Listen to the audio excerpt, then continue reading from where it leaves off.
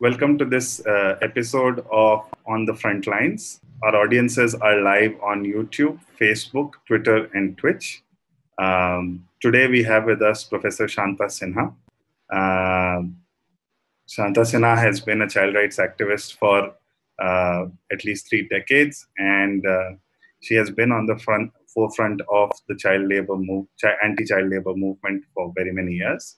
Uh, she's also the founder of MV Foundation, and today uh, we're going to talk to uh, Shantaji about the issue of children during the COVID pandemic. Uh, welcome, Shantaji. Thank you. Thank you. Shantaji, one of the most, one of the most moving images uh, during this crisis has been that uh, of a woman who was carrying her dead child uh, in Jehanabad in Bihar unable to find an ambulance. Uh, and that really brought forth uh, the biggest challenge uh, that children are facing because they are almost voiceless and invisibilized uh, during this situation. What do you feel is happening to children all across the country uh, during this situation? since you started with the most tragic of stories, and I, I had looked at another tragic story where a mother had to drown five of her children into the Ganga River because she couldn't uh, meet the hunger of those children. So we are coming across very, very tragic stories about children and the families becoming hungry and children have no voice and there are no institutional arrangements or support to keep children not starving, not being hungry and not being anxious, not having despair. So I think we are going through, uh, uh, uh, I, I don't even know how to define it. There's no vocabulary for it. Do we say humanitarian crisis? Do we say moral crisis? Uh, really, I, I, it's unthinkable, and we will have to really think of some new vocabulary to describe what we are seeing at the moment, especially about children. And there's more we will have to talk about, but I'm just saying that we have failed our children today. But I should still think we do get energy from some positive stories here and there, but on the whole, it has been uh, quite a despair. So, um, a, a, large number of children today are unable to access school. And while some of the most privileged children might be able to move into uh, digital classrooms, uh, what do you think is happening to the large majority of children with respect to access to education? Uh, I, I, I would uh, not worry so much about their not being access to education. I have my own views on the matter. You know, uh, and I would not want to compare the rich children with the poor children and somewhere trivialize the issue of what is happening to children as a whole. I think all classes of children are facing uh, uh, their own uh, uh, uh, specific issues, which, which should be worrying us. So let us not make this distinction of the rich and the poor. I think uh, children are children and they all need a kind of care and protection and attention. And I'm sure they're going through, they all have certain, even rich children have questions to ask and they need to be comforted. They want to know how long this is going on. How long can they go on playing video games? How long can they go on doing uh, online teaching? But let me come back to the poor children. You know, I, yes, actually there is a coincidence of now that there is summer vacations for schools and it should have been logically closed you know for for many of the government schools in the country it's it's not so for the cbse schools but otherwise most government schools close down during the months of uh, april up to the june first week and during this time children do uh, are in the house because this summer it is mad hot and uh, children really uh, are at home. Many of them go out, they swim if they are in the rural area, and uh, they walk around with friends. That is not happening at the moment. Also, in the rural area, I think when children are not in school, at least they were not hungry. You know, because the parents worked and there was some income, there were reserves of food, and home was not a place where they felt insecure But I think it is different for children now in the sense that although they're spending more time with the mother and with father at home, there is a gloom in the families, and that will have to be rectified. And somewhere, I think uh, being out of school and being at home in a condition of insecurity and in a condition of there not being enough reserves of food is certainly going to affect the poor uh, children in a very, very harsh uh, manner. Made a, you make an in, important point about uh, food and some form of security, and of course the ability to play uh, and interact with their friends. Um, a lot of children uh, in rural India depend on meals that they get, get inside schools. Right. And uh, that access is completely shut down at the moment. Absolutely, absolutely. I think I should have mentioned that also. You know, in many many states, uh, when schools close down for summer, there is a pressure from the NGOs and others saying that even if there are no schools, there should be the noon meal going on. You know, and it, it does happen off and on that noon meals are provided even if there are no schools. But here, unfortunately, even when there is hunger, even when there is no access to food reserves, children are being deprived of the noon meal. It's only in Kerala where dry rations are being sent home, you know, through the Anganwadi worker, and no, no noon meal has been stopped in Kerala. I think this should be followed uh, all over the country. Usually, you know, uh, these uh, when uh, rations are being distributed, they are actually being distributed to those who have ration cards, even in the villages. And we have found when we did a survey that uh, for those who didn't have ration cards, of course, food is not being distributed. For those who are migrant labor, only the adults are counted and children are not counted for. So there is a big uh, uh, responsibility uh, of the government to see that children's food is taken care of, even if there are no uh, schools in the afternoon. You know, I mean, schools uh, during this COVID time. Uh, it, it doesn't cost much and it doesn't need much governance or logistics. It just has to be uh, distributed. And, I'm sure if they left the decision to the Gram Panchayat, decentralize the whole uh, issue, Gram Panchayats would come up with their solutions on how to reach out to every household where there are children and send their entitlement to food to their house. But in a situation where there is a large num- large population of India stuck on the highways, roads, still walking back to their villages, how is it possible for for gram panchayats or even state governments to reach out to these populations? I think uh, it's really pathetic that these people should have been actually walking back uh, to their homes, and that should not have been there at all. And arrangements should have been made for entire families with children to reach home safely. It's not difficult. You know, this kind of discussion is coming on in the newspaper among all of us, saying that if they could arrange for special aircrafts to uh, get uh, passengers from all over the world, couldn't they have made arrangements for the poor to go back home? And uh, I think this is really sad. And if you ask me how can they do it, I think wherever they step in, that local government will have to take responsibility for these uh, uh, people. And, and they're not to be seen as if they belong to Bihar or Chhattisgarh or, or uh, Orissa, but they have to be treated as Indian citizens and they belong to all. They're creating wealth for you and me. And at least now we should recognize that without their contribution, none of us could have even survived the kind of luxury that we have. No more we can go about looking at them as belonging to a state. They belong to the entire country, and the whole country will have to be responsible for these families and these children. And uh, in fact, you know, solutions are never difficult to get by.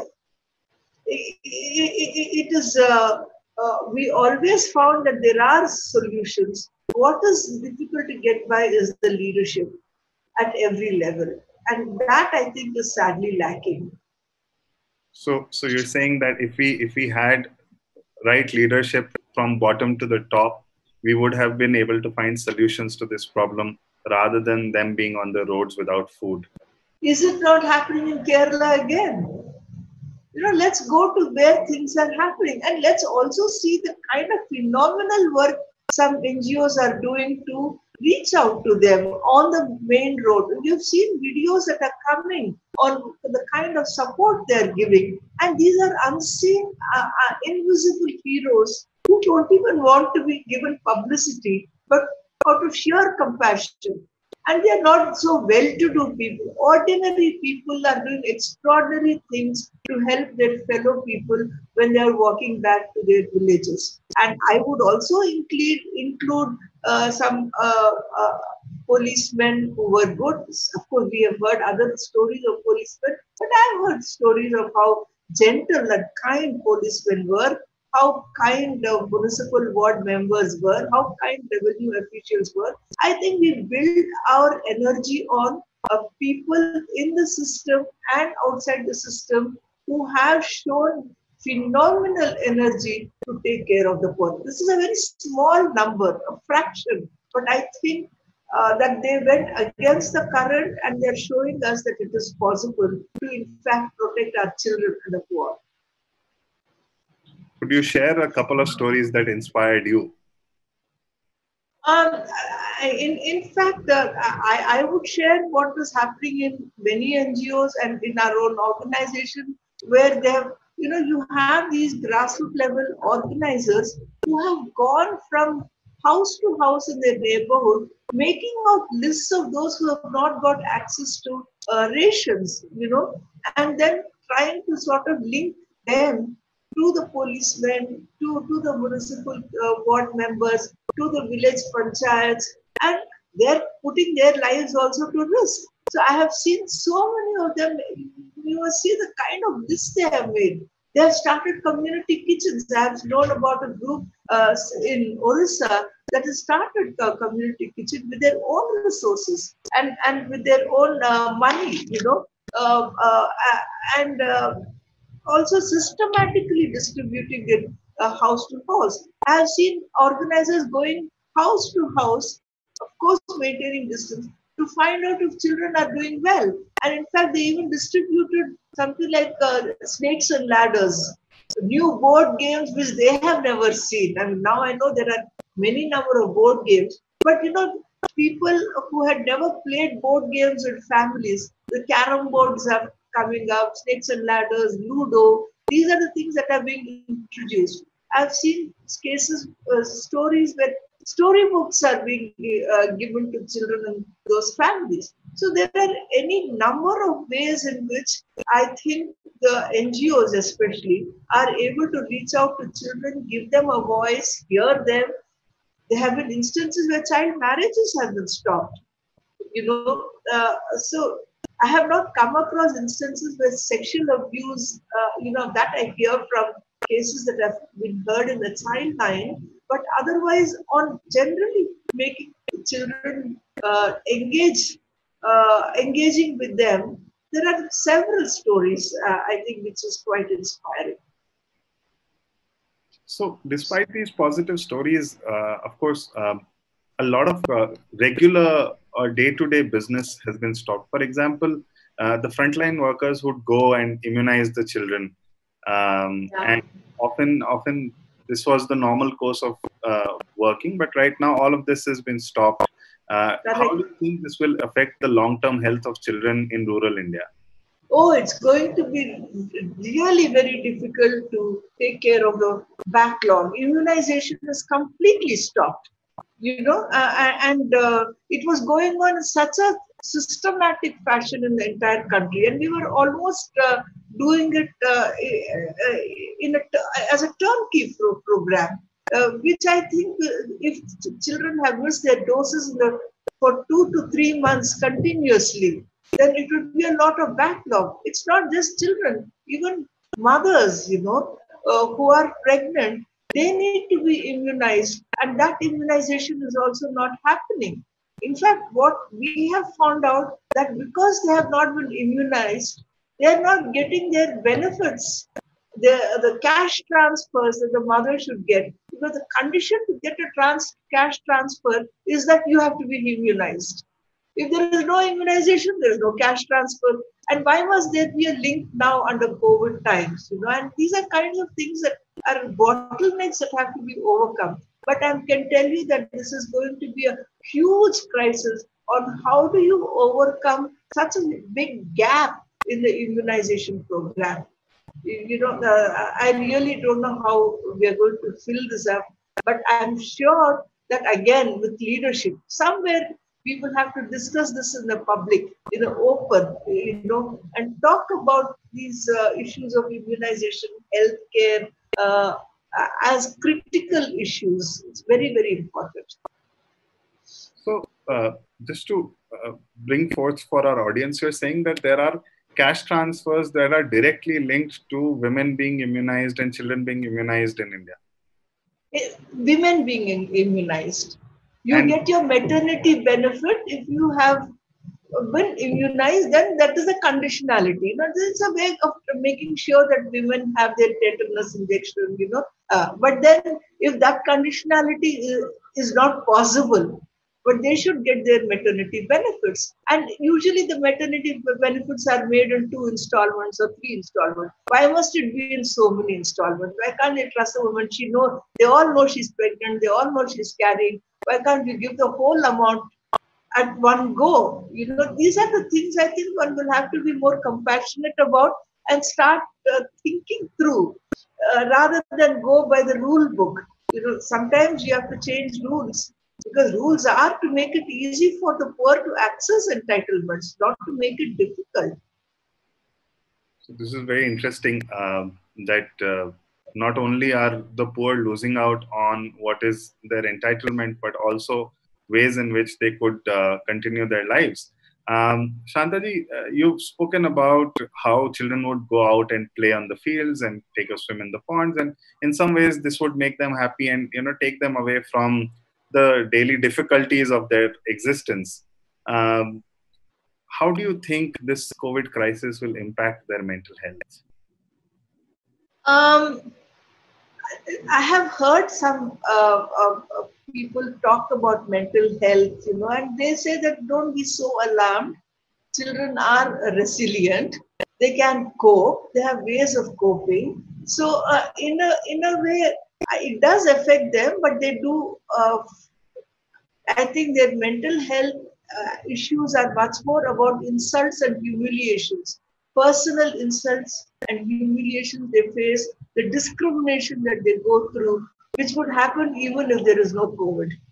You know, uh, if it is not an insult, if it is not a humiliation, uh, if it is not uh, discrimination, then I think children will just cope uh, with this if the family atmosphere is supportive encouraging and telling them that look these are uh, we will pass by this kind of a uh, situation. So i would i should think it, it is not a cause for much worry. Although you find that the ministry of family health and family welfare if anything they did creative at all are having those colorful books for children on mental health uh, you know, somewhere mental health, emotional well-being is seen as a problem. It is a problem, but the most creative aspects of dealing with children has been perhaps some consultant who could uh, design a beautiful, colorful book on mental health, and not one book, many books on mental health.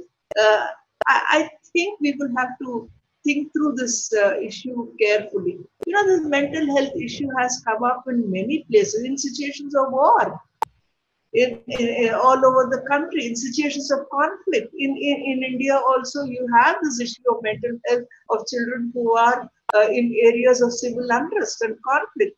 They have gone through uh, enormous trauma and anxiety. There have been loss uh, of uh, their own relatives. In, uh, say, for instance, in uh, many of these Maoist areas or even Kashmir. So let us look at these profound issues of mental health and how they have coped with it and what kind of support they needed and whether we did anything for them at all. If we did something there, we would have had enough arrangements to take care of children going through mental health now here. But I don't think India has much experience in tackling mental health at times uh, during times of uh, disaster, conflict, uh, and I suppose now COVID times. So there is there is an important need to uh, build capacities within uh, families and communities to deal with the mental health crisis. It is, it is, but at the same time, I would think that uh, there is an exaggeration about mental health. I may be wrong, but I've learned, I have heard some people after I was asked to speak, I've heard some uh, persons who are experts on the matter who talk about uh, children being resilient, and uh, it's more the uh, personal humiliation uh, which causes an emotional trauma, and of and I would also say the anxiety of all those children who are hungry and uh, going through starvation. These cause the kind of mental health which are very different from uh, children who have parents who have some kind of reserves and who can take care of their children. One of the uh, unintended or crisis that, that people are saying might emerge is that we have we may have children who are orphaned because of the number of deaths uh, or disabilities that this um, uh, crisis will sure. cause. Uh, sure. What what what do you think is the best way to deal with it, and if, if such a crisis is emerging? I, I, I, I very well anticipate uh, uh, loss of uh, parents, loss not due to COVID maybe, but due to hunger and starvation and uh, abandonment of children and uh, um, making them feel lonely. These, these are, uh, this is something one can anticipate. I think here is so important again to look at it in a decentralized fashion and perhaps break it into its lowest uh, denominator where in a particular area you're able to track every child living in that area and bring up uh, support systems and uh, support mechanisms for them. Here, I think there is a huge role for the DCPU, district, uh, uh, you know, uh, child protection units. We have all these edifices, no? We have a DCPU, we have a VCPU, and there's so much in the juvenile justice system that has been designed to take care of precisely children who are in need of care and protection. Maybe the government must trust them, give them investments, uh, park a lot of money there, and see that these children who are so vulnerable, so abandoned, are reached out to. What is the point in having a child welfare committee or a child line or an uh, entire ICPS system when there is just no funding there and no money there for them to even operate?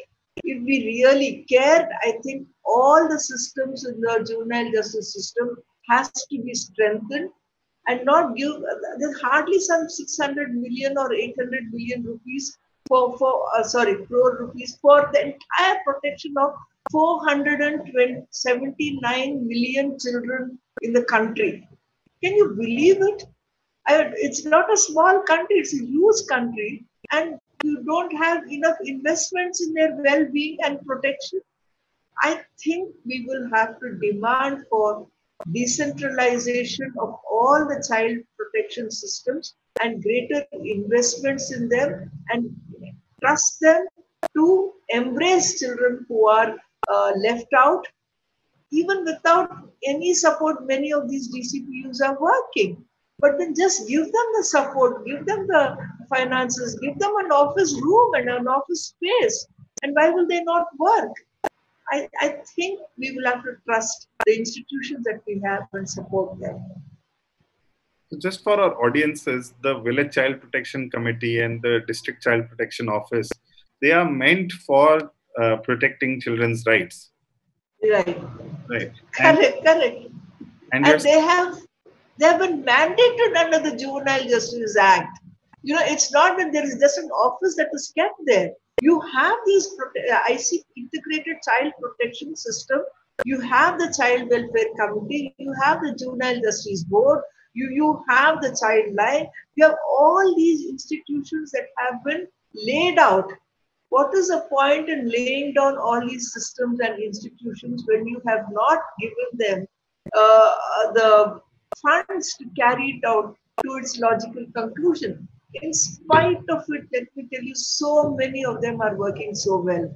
They're just using the authority that has come to them through the act and they're stretching themselves to reach out to uh, children. But why should it be like that? You know, and uh, uh it is it is indeed uh, uh, it speaks of how much the system actually puts primacy of children in the country's democracy. If it cared, then you would have done much more in the institutions that are meant for children. Somewhere it looks like it doesn't care enough surely there are a lot of stories about a lack of care. Um, one of the uh, landmark reports that comes on education every year is the ASER report, uh, yeah. which, which, says that you know someone in class three can't can't you know read or write material in yeah. class and so on and so forth. Uh, do you think these learning challenges will widen um, because of the amount of time children will be out of school, or do you think this will be this this such this this will remain as is? Uh, actually, I I, uh, I have to wear two hats: the pessimist and the optimist hat.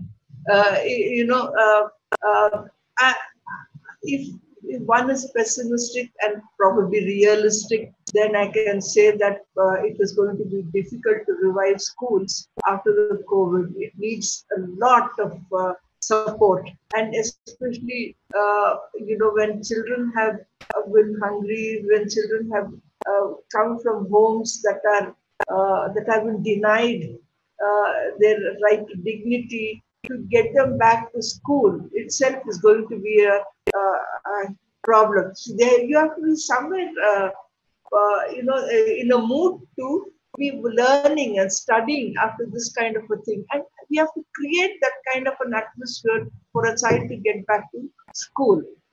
Considering the manner in which schools are running, uh, the government schools are running, these children are in any case neglected. I wouldn't say it's not, it doesn't reflect on the child's capacity to learn.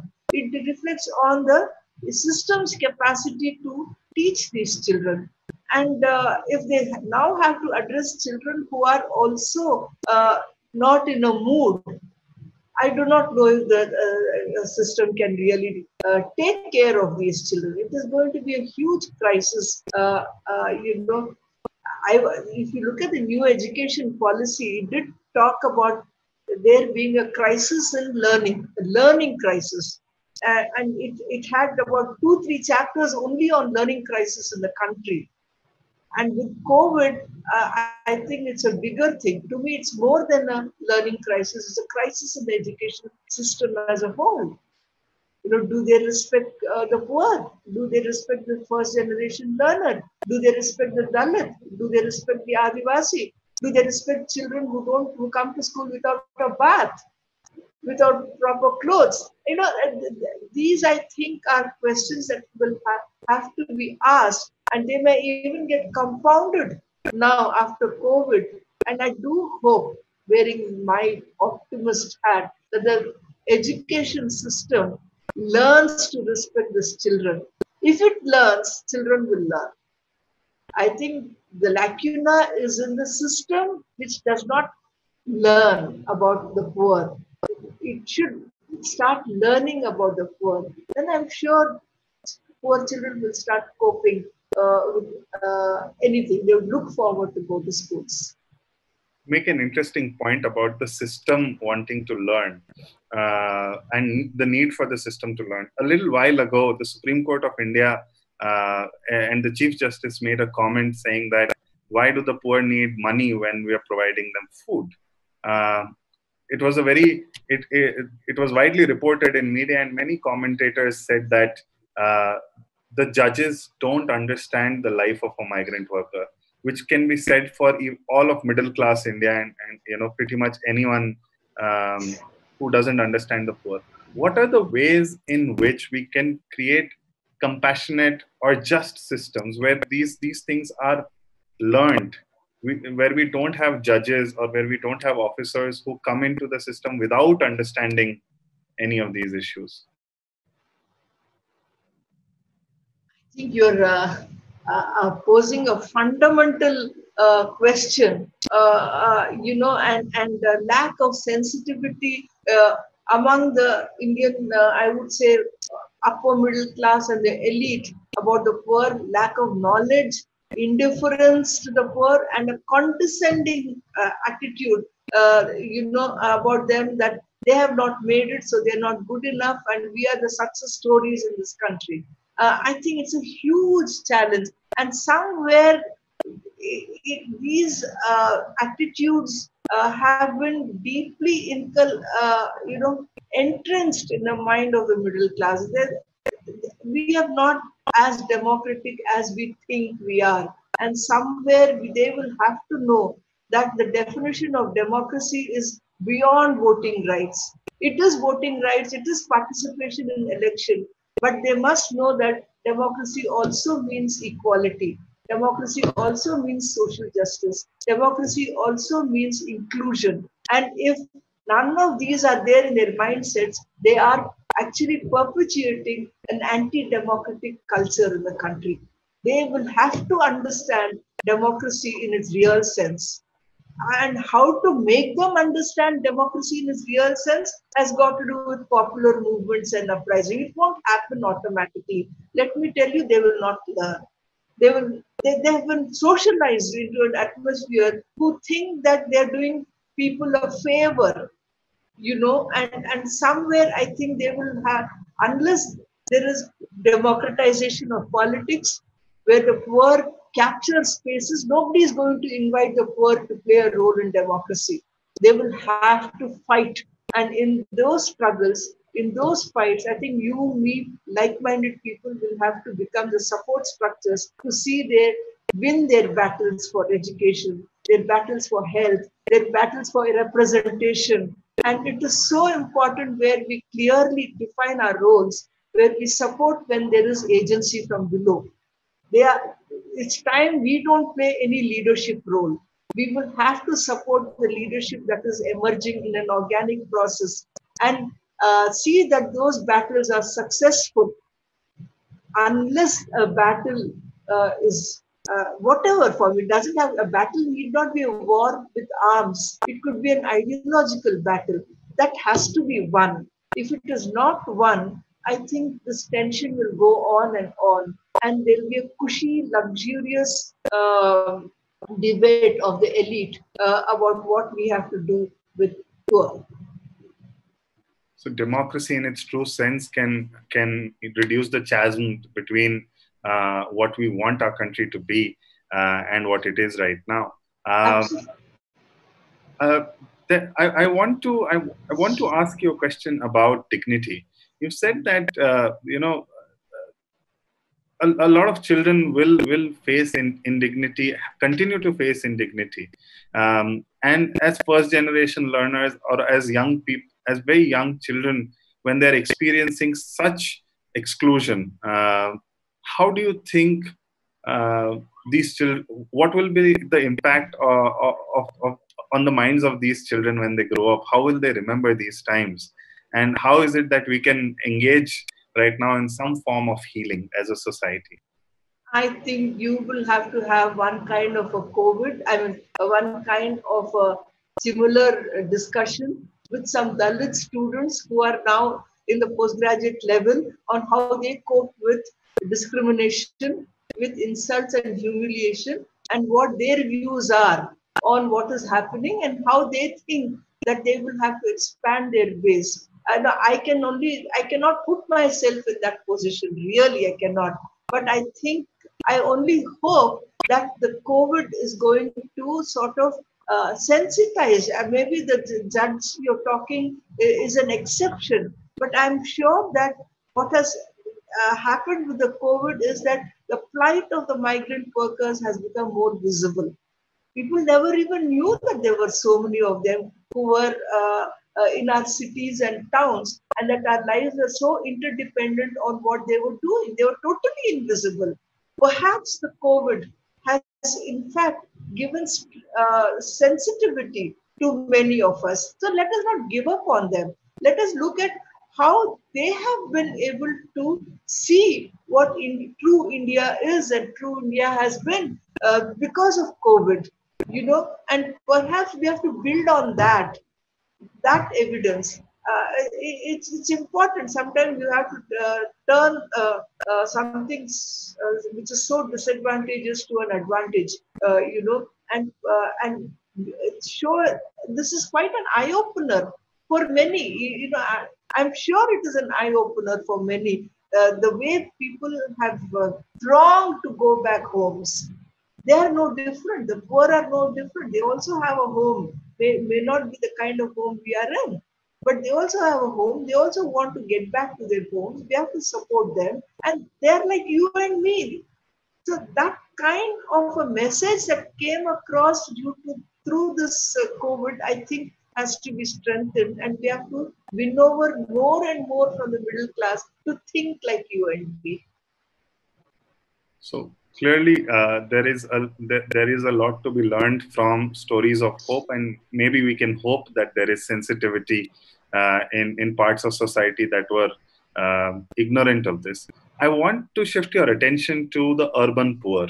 Uh, right and and especially children who are on the streets children who are homeless uh, often have homes uh, in the city but have run away or homes in villages but you know work in the city uh, there's there's common perception that these are children in conflict with law and in need of protection. Uh, how do you think the police brutality uh, or the or the shutdown of cities would have affected these these children?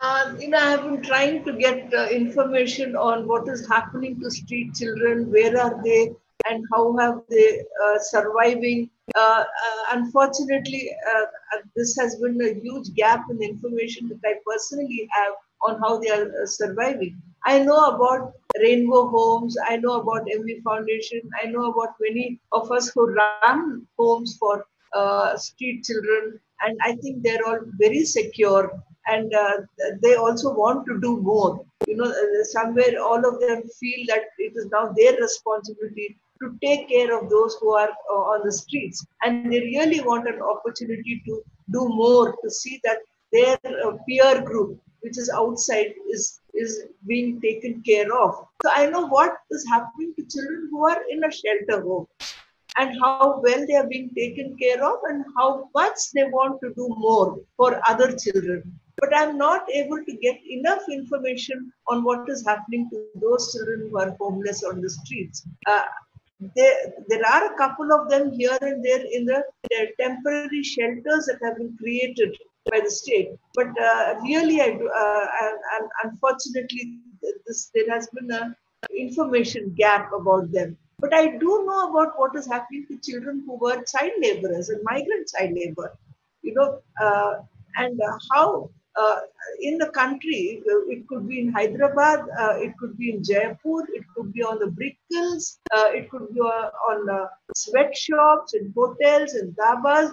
How all these migrant children have been just left abandoned by the employers. They have gone away to their homes at a safer place, leaving them behind. And these children, sometimes there are 50 or 60 of them have been left kind in a small dungeon like space.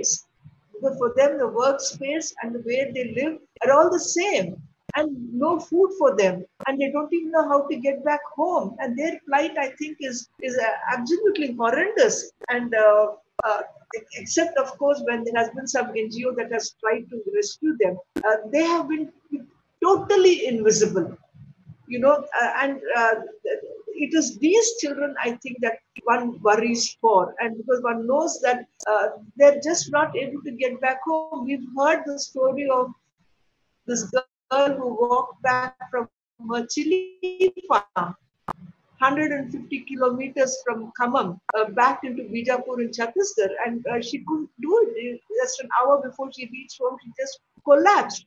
God knows what kind of plans each one of these children who are trapped in these sweatshops are thinking on how to get back home. you know, they're in prison and uh, it's for no fault of theirs. And there has not been any report about how there has been a rescue of uh, government for them. There has been no policy decision. You have had policies for uh, adults, migrant labor, but there has not been a single policy announcement or decision about what you may do for children, child labor who have gone as trafficked child labor and uh, who have uh, gone, uh, I mean, uncared for, unprotected. No directions, no guidelines, nothing. You know, and these, it, it is very worrying that, you know, we have just not raise the debate on these children uh, at a national level. At this point, I'd like to uh, tell the audience that they can put in their questions uh, on any of the platforms that they're in, whether it's Facebook, YouTube, or Twitter, and we'll be happy to uh, ask those questions to, to Shantaji. Uh, but Shantaji, I, I want to um, point out that a lot of these children who are uh, who fall in the urban poor category, who are migrant labor, uh, essentially are uh, ch- children with a lot of independent spirit. They are not used to asking others for help and are quite uh, self-dependent. What do you think um, in this situation where everyone has been left helpless? How would how would their mental state be uh, when they are not able to ask for any help from anyone? I think there is a, this is a genuine uh, uh, problem. This is where the issue of dignity, you know, of, of children on the streets actually happen because they're so self-respecting. They have such self-esteem, and they would uh, they would think that they can take care of themselves. But they do need to unlearn a lot. Even without COVID times, I think they must know that uh, look, you can carry on with such self esteem for some time in your life, but not for all the time in your life. When you're a child, fine, but you can't continue like that forever and ever. And you need support, you need education, you need uh, rescue, you need to be equal with others, and you need to realize your fullest potential. You may have self esteem, but your fullest potential has not been recognized or even realized. So, somewhere there has to be talking to them. This is what is happening in all our shelter homes.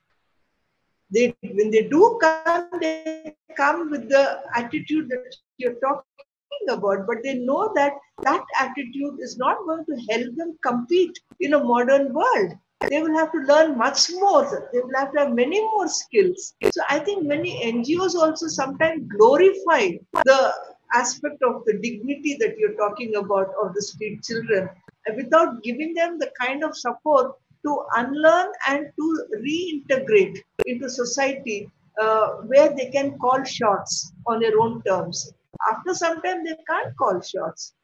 They become addicts, they become uh, vulnerable, they become uh, uh victims of police atrocities. You know, so of what use is all the self-esteem when they have no capacities uh, to enjoy uh, equal rights as citizens in the country.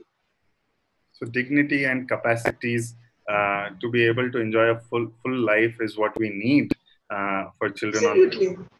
Uh, Absolutely. Would, uh, because you have self-esteem and dignity, would we send our child onto the street? Go live because that is a better freedom that you have. Would you do it to your own child? Absolutely. I mean, we, we will have to sort of uh, somewhere not glorify the street child. You respect them, but you're doing a great harm in glorifying them. I, I also want to uh, ask you that because a lot of children are at home, uh, do you think uh, there is a situation that might emerge where we might have um, early pregnancies or underage pregnancies? Um, and is there is there great potential for child abuse during these times? This it seems uh, there is evidence to show that it has actually happened. That there is greater sexual violence, and that it has been brought to the notice of the Ministry of Women and Child uh, Development. That uh, uh, you know that uh, the calls that have come to the child line, about 4 lakh calls uh, during COVID times, many of them are about sexual abuse and violence and domestic violence uh, uh, because men are at home, alcoholic parent, father at home. So this kind of a thing you, you do listen to.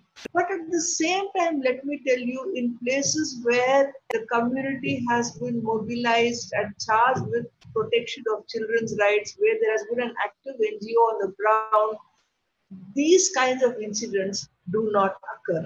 It, it occurs in places where there has not been a sensitizing on children and their rights. So there are these instances of child marriages and child uh, sexual abuse, but certainly they are not occurring in areas.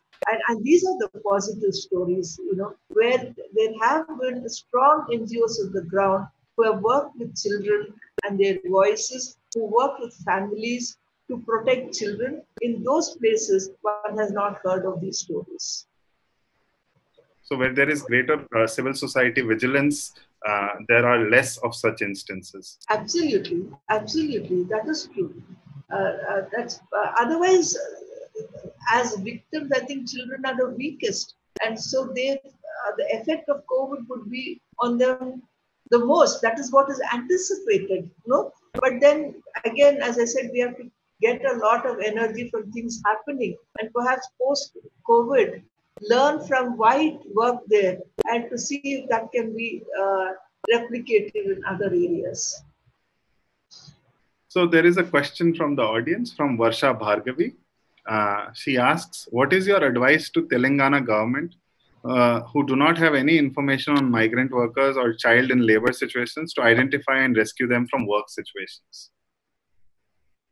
Why only Telangana government? It has to be given an advice to all governments except perhaps, uh, uh, as I told you, Kerala and one or two uh, states. Uh, you know, uh, uh, in, in, in fact, again, it is the pressure from the NGO on the government to constantly raising the voice without getting frustrated.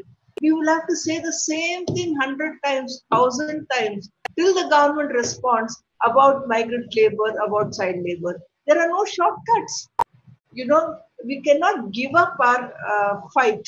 We will have to continuously, and each time you ask, each time you question, you do it as if you questioned it for the first time. It was your, you didn't think of it yesterday. It came to you today. There is something about migrant labor. And then ask the government. Because other, uh, I, I think it's important that we keep questioning and questioning and questioning. There's, there are no shortcuts and keep feeding concrete data, concrete information, and tell them, look, in this place, there are so many families, they don't have anything, you have to do something. They may not listen, but say it again. Say it again through another media. But that's the only way. In a democracy, these are the only ways in which you raise consciousness of not the civil society, but also the system you made an important point, Shantaji, that wherever there is civil society uh, or active citizenship, uh, there are lesser cases of violence or discrimination or lack of entitlements. Uh, do you see any possible ways in which civil society across India could club together to address not just the issue of child rights, but many other rights that we are seeing uh, being subverted? I think they're already doing it. When, when you look at the kind of work uh, NGOs are doing uh, on uh, rescue and rehabilitation of workers and on the issue of hunger. None of them is a specialist on this. They're doing women's issues, environment issues, children's issues, uh, housing issues, watershed issues, but all of them have come together through their field level activists and organizers, through their networks to work on hunger to work on starvation. So I think the civil society is coming together. They're sharing experiences. They're jumping orbits. They're they're discussing. They're talking, which is again I think a very positive sign under COVID because otherwise we were all in our own work. But now we have sort of skipped our orbit and looking at what others have done and joining together. This is happening in the country. I think it's a good thing. And we have to come together.